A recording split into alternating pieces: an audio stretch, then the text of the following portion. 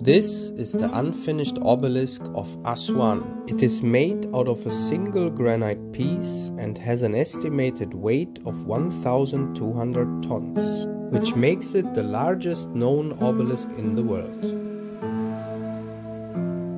It has some very deep cut marks from a saw and some mysterious scoop marks along the sides and on the floor. Which tools might have caused these scoop marks? And how exactly were they planning to disconnect this giant megalith from the quarry?